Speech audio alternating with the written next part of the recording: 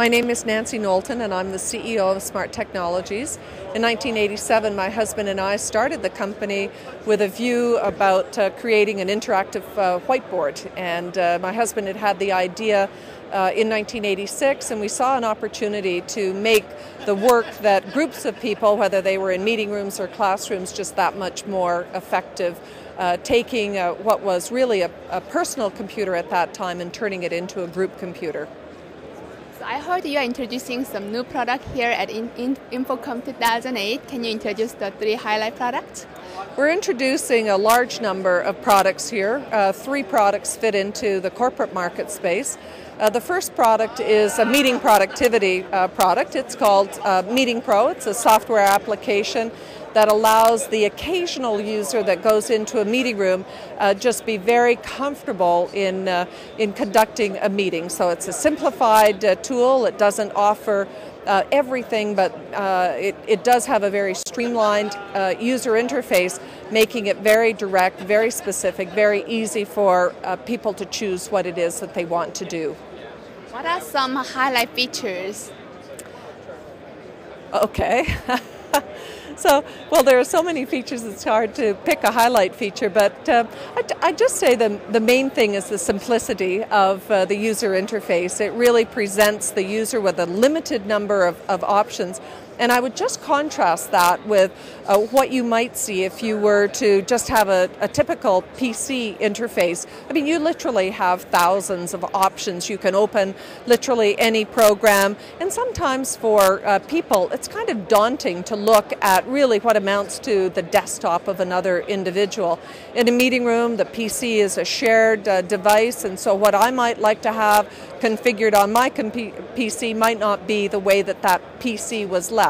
So by taking that away, limiting the number of options that people have, just a, a, limited number of whiteboarding tools, that gives them the confidence that what they want to do, they can do when this will be available? Is it already available? And do you have some price general information? Well, the uh, product is already available. We announced it on May uh, 21st. And the pricing of the product is really uh, based on the number of displays that you want to have connected uh, via the software.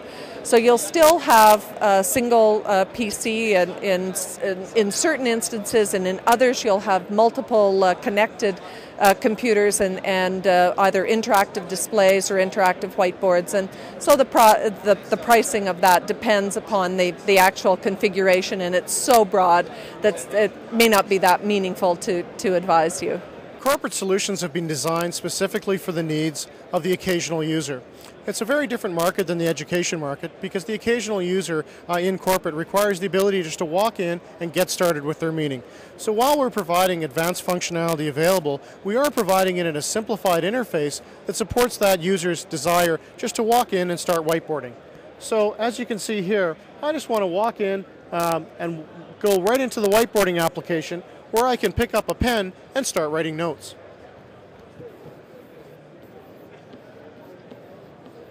Now, as you can see when you look at the bottom left-hand portion of the screen here, it's still a very simplified interface that supports the needs of the occasional user. We don't want anybody to feel intimidated when they walk up to start using the application.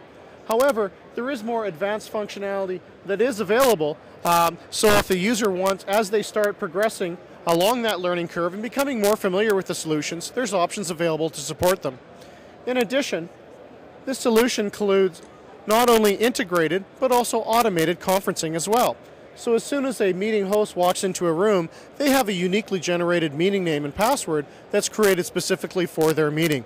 Really reduces the steps required for them to walk in and begin their collaborative brainstorming session. Furthermore, we've tried to create a solution that really works well with the existing applications that a user will use in the corporate market. Microsoft Office is fairly very, is quite prevalent in this market, so we've provided the ability to support a user's desire just to walk in and start using an application right away. So if they want to make annotations on this application, they can make annotations um, and highlight where changes need to be made, and then simply by touching the screen, they can take a picture and that will be saved as part of their meeting notes. Uh, furthermore, this solution also supports multiple displays. Now there are some re- there are some uh, environments where multiple display support is required. Obviously, the meeting room requirements can vary based on the size of the room, and our solutions are designed to fit every room that an organization has.